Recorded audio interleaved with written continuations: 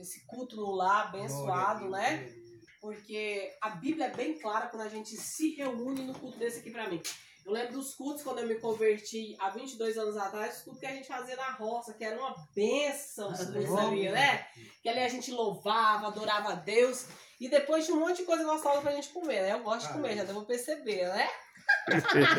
eu gosto de comer. Gente, era tão bom aquela época, o povo se alegrava na presença do Senhor, não tinha tanta maldade igual hoje, não é verdade? É verdade. As roças, você vai ali nas roças ainda de Sancrelândia, né, de Abadia de Goiás, ali em várias outras cidades você ainda vê as igrejas ali e o povo nos cultos de oração mais fervoroso do que a gente aqui na cidade. A realidade núcleo é, é essa. É verdade. Né? Mais fervoroso ainda. É então eu me lembro muito bem dessa época que se pudesse voltar atrás, né, a gente voltaria atrás e voltaria principalmente ao primeiro amor, é né? Porque aquela época ali era muito boa.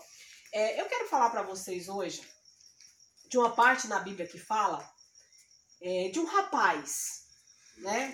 Um rapaz que ele amava muito o seu pai. Ele amava muito a sua família. E o seu pai também, pelo que se diz a Bíblia, amava muito esse filho. Mas porém esse filho ele quis se aventurar. A Bíblia fala isso, né? Ele pediu a parte que era dele, que era por direito ao pai, que ele queria viver a vida dele, longe da família. É uma história do filho pródigo. E o pai dele concedeu para ele. E ele foi, viveu na gandaia, viveu com mulheres, viveu na bebida, vamos dizer assim, ele viveu a vida que ele achou que ele deveria viver. Né? Ele, a Bíblia relata que o pai dele deu para ele o que era de direito dele, da parte dele, e ele foi. Só que com o tempo foi se desgastando, né? Foi se desgastando, e foi gastando, e foi gastando. E a Bíblia diz que aquele rapaz ficou sem nada financeiramente. A Bíblia nos relata que para aquele rapaz comer, ele teve atitudes assim que foram profundas, junto até com os porcos, para estar tá se alimentando. Mas a Bíblia nos relata que aí ele quis voltar. E o pai dele já imaginou que ele tinha o quê? Corrido, porque não tinha notícia dele. Aí ele ficou sabendo que o filho estava voltando, estava retornando para casa. O outro filho que ele tinha, que não era um filho pródigo, mas vamos dizer assim, um filho que ele olhava para o filho diferente, que estava sempre ali perto dele. E o filho achou agora que ele ia ser dono também de tudo. De repente o pai fica sabendo que o filho pródigo, aquele que saiu e agora queria voltar sem nada financeiramente, iria retornar para casa. E ele se alegrou, ele mandou matar a melhor vaca. Ele mandou que se preparasse o melhor banquete para o filho. O outro olhou para o pai e disse assim: Pai, eu sempre estou aqui perto do Senhor te ajudando, pai. Eu esse tempo todo estou aqui, pai, do teu lado, parece que o Senhor não me vê. E aquele pai falou para o seu filho: Eu vejo você aqui todo dia. Eu vejo você aqui perto de mim sempre. Porém, aquele eu achei que já tinha morrido, já tinha descido à sepultura. O pai se alegrou do filho está vivo. O pai não contestou que o filho tinha gastado todo o dinheiro, que o filho tinha sido rebelde, que o filho tinha aprontado, que o filho às vezes tinha desobedecido ele, como os outros olhavam. O pai abraçou, mandou fazer o melhor banquete, mandou matar o melhor noite para poder estar tá lidando com o seu filho. Por que, que nós que somos pais, muitas vezes, queremos julgar os nossos filhos das atitudes que eles fazem? Por que, que muitas vezes nós queremos jogar os filhos fora pelos erros que eles cometem, se um dia a gente já foi jovem também e nós já cometemos? É isso nos ensina que aquele pai não se preocupou com nada disso. Ele ficou feliz do filho estar vivo. A pais hora dessa que estão amaldiçoando filhos. A mães hora dessa que estão amaldiçoando filhos. Há pessoas que estão amaldiçoando outras pessoas. Mas há um Deus lá no céu que olha para você diferente, que olha para o pastor diferente, que olha para mim diferente, porque é o nosso Pai verdadeiramente que está Glória nas alturas. Aleluia. O que eu quero mostrar isso para você é o quê? O filho voltou e o pai abraçou. Quantos filhos querem voltar para a casa de Deus? Quantos filhos que se rebeliaram, caíram, se decepcionaram? Quantos filhos que realmente chegaram ao fundo do poço e comer junto com os porcos, mas quiseram voltar. E outros olharam e disseram, mas agora você vai aceitar a Cleolóia lá na sua igreja, pastor? Aquela mulher que cometeu tanta coisa. Agora, fulano, você vai convidar o pastor Sérgio também para pregar na sua igreja? Esse homem é assim, assado. Agora, fulano, você vai aceitar ele na igreja, com tantos pecados, tantas falhas que ele tem. Vocês vão aceitar, vocês vão abraçar. O que a Bíblia nos ensina é abraçar, é acuidar, é amar. O pai podia ter jogado ele fora e ter dito: Ó, oh, eu te dei a tua parte, você não conseguiu administrar você não conseguiu sobreviver com ela da maneira que eu te dei, que era pra você estar tá mais próspero. Você chegou a comer junto com os porcos. Então sai da minha terra, porque eu vou ficar com esse aqui que é o melhor. A Bíblia diz não, que ele abraçou o filho e se alegrou pelo filho estar vivo. Glória a Deus. Abraçou. Aleluia. Abraçou. Quantos pais que jogam os filhos fora, jogam os filhos na rua? Ai, eu descobri que o meu filho tá fumando maconha. Então agora o negócio pra ele é rua. Sem vergonha. Porque eu nunca fumei maconha.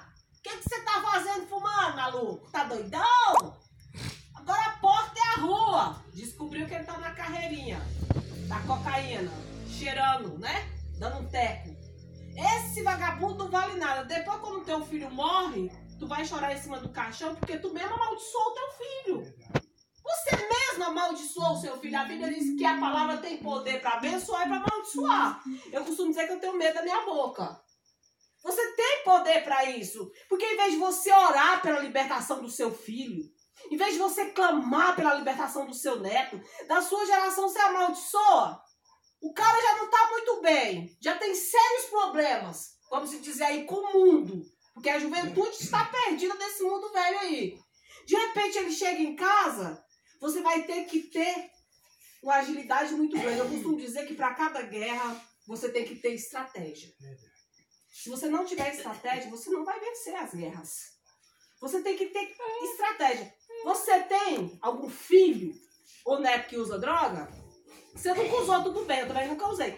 Mas eu vou ter que ter estratégia para me lidar com a situação, porque senão meu filho vai morrer, eu vou perder ele pro mundo. É verdade.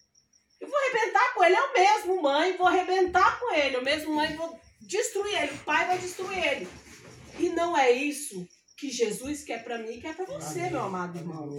Não é isso que Deus tem para mim. As pessoas elas gostam demais de julgar a vida dos outros, de julgar os filhos dos outros, de apontar porque elas nunca fizeram. Mas elas esquecem de abraçar verdadeiramente e de amar e dizer que estão ali preparadas para ficar com a pessoa. Depois que morrer, gente, não adianta mais ficar chorando em cima de caixão, não. É verdade. Não adianta ficar pedindo perdão em cima de caixão.